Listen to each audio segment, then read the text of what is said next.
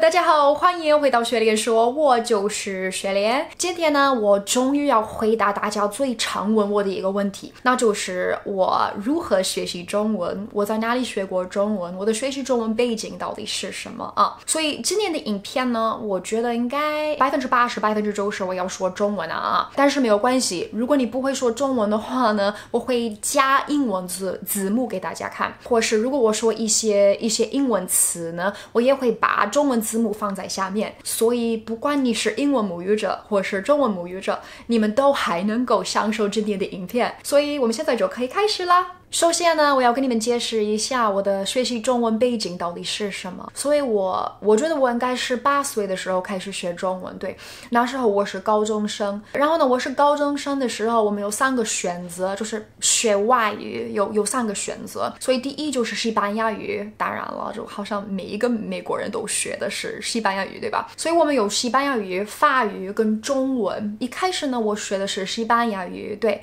但是，哎呦，我我 我可以。可以跟你们说，我对西班牙语完全没有兴趣，我一点都不喜欢。我觉得呢，就是因为可能他们的就西班牙语的语法有一点太难学嘛，所以我就没有兴趣啊啊！所以那时候我学西班牙语的时候，我记得我的成绩非常非常不好。然后有一天，我的老师跟我说：“哎，雪莲，如果你不小心的话呢，你快要 fail，你快要 flunk 这堂课是。”所以那时候我就非常紧张了。我对我我就我我一直想一直想。我要做什么才对？我如果我 fail 的话呢，怎么办呢？所以那时候我决定，可能学习中文是个比较好的选择。然后呢，我跟我妈妈说：“哎，妈妈，我现在呢，我快要 fail 西班牙语课，所以我要学习中文了。”然后我妈妈跟我说：“你疯了吗？中文就是是世界上最难的语言嘛？你在想什么？”但是好像我没有别的选择了，没有办法啊，所以我只好我只好上中文课是吗？所以我开始学习中文的时候呢，我一开始上中文课的时候，我就马上爱上了中文，真的很奇怪，莫名其妙，就是因为好像学习中文呢，跟学习西班牙语。就那个感觉是完全不一样，对我来来说是完全相反的感觉。其实我可以跟你们说，我学中文的时候，我最喜欢的部分就是写字，我非常非常喜欢汉字。我我真的不知道为什么，可能呢就是因为呢，我我我其实是个非常害羞的人啊。可能你看我视频猜不到我是害羞的人，但是我其实是个非常害羞、非常内向的人啊。所以可能我觉得，如果我一个人窝在我的家里写字，其实。那个感觉非常好，那个感觉非常舒服。所以我是高中生的时候，我真的觉得那时候我算是一个书呆子。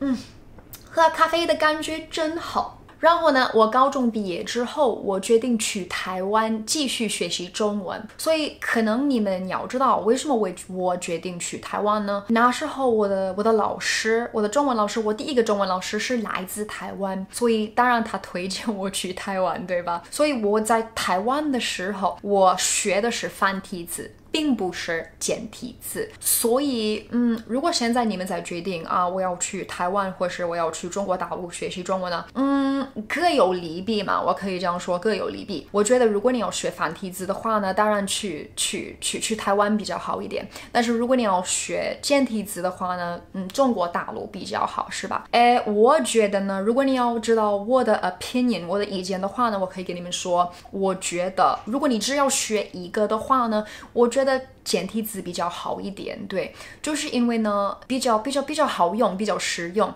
诶，在中国大陆，每一个人都会用简体字，不是繁体字，对吧？所以现在我要跟你们分享一下，我学习外语的时候，我学习中文的时候，我最喜欢的学习方式到底是什么？很多人说中文是世界上最难学的语言，但是我真的觉得呢看情况。我觉得呢真的在于你你在看什么。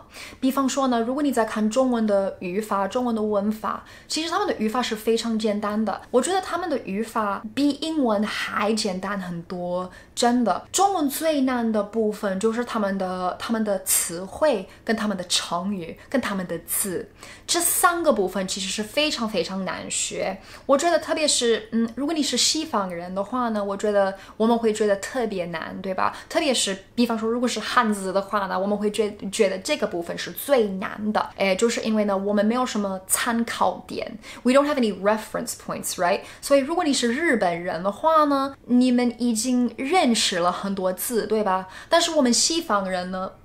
我们完全没有 context，对吧？我们就完全没有没有没有这个语言情境，所以我们开始学这个部分的时候，会觉得非常非常难。我其实我也觉得，我们学什么，我们学生词的时候，我们也会觉得这个部分非常非常难。为什么呢？就是因为呢，比方说法语或是西班牙语这两个语言是来自拉丁文，对吧？然后英文也有很多拉丁文在里面，是吧？所以比方说，如果我们随便说出一个西班牙词，词 presidente，right？presidente，我一听就可以猜到 presidente 是 president，他们听起来非常非常像。但是如果是总统，那就是中文的 president，对吧？总统，所以有什么有 president，presidente，总统。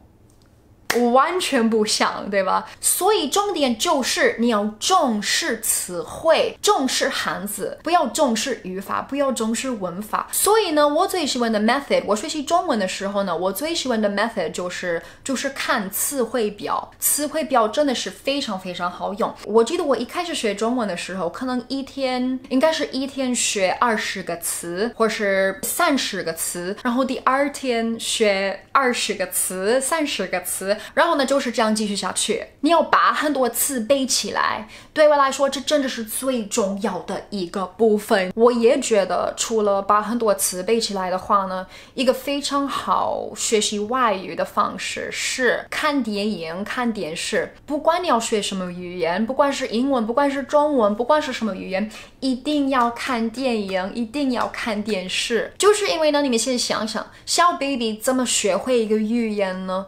他们没有课本什么的，对吧？他们就是一直听，一直听，一直听别人说话，是吧？所以其实我们 adults 跟小 baby 其实完全一样。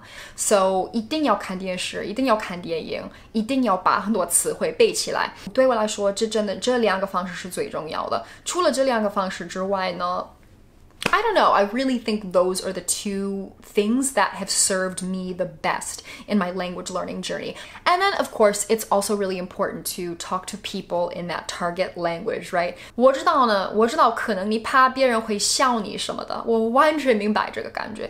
但是你要你要克服这个感觉。不好意思，我知道了，那真的非常不舒服，但是没有别的方式。其实现在呢，我其实已经有一点怕，可能这个影片太长了。 不好意思，我只要很快跟你们解释我的情况是什么，我的学中文的情况是什么。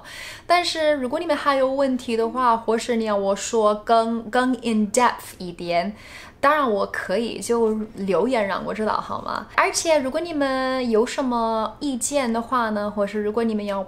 要我拍一个一个特别的影片给你们看呢，你们随时都可以让我知道，你们就可以留言让我知道，好吗？所以我觉得对，今天到这儿了，我是雪莲，你们已经知道，我爱你们，下次见，拜拜。